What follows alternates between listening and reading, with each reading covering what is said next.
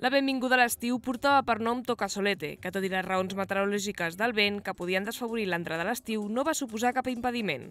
Així mateix, el passat divendres 21 de juny es donava l'obertura d'aquest festival musical al port esportiu Marina Seca de l'Hospitalet de l'Infant, amb un tardeo a càrrec dels disjòqueis Arno Lamunt, Ruben Aller, Nogue i Sergio Scrim.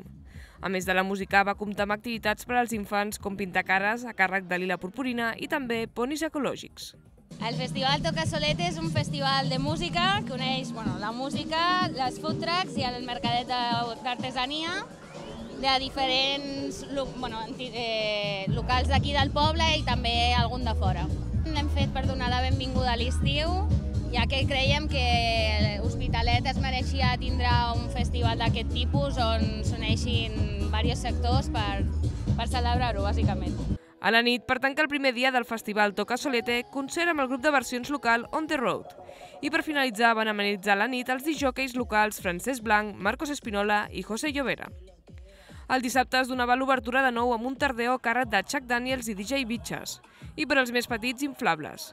I tot continuava amb el Ball de Diables de l'Hospitalet de l'Infant amb la celebració de la tercera edició de la Nit del So, que va comptar amb més de 200 persones de les demarcacions de Tarragona i Barcelona. Uh, és la trobada dels nostres tabalers i bueno, l'objectiu és barrejar una mica diferents estils de percussió, tant tradicionals, batucades, grup mixtos i fer una mica de, de germanor entre diferents tipus de percussió.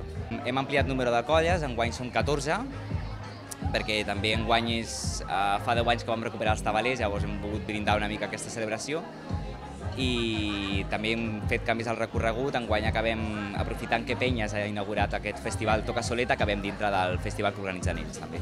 Amb els diferents grups de percussió van donar l'inici a la plaça Berenguer d'Entensa amb els tocs individuals de cada grup i seguidament van dur a terme una cercavila pels carrers de l'Hospitalet de l'Infant, finalitzant el port esportiu per amenitzar el Toca Solete amb el toc final.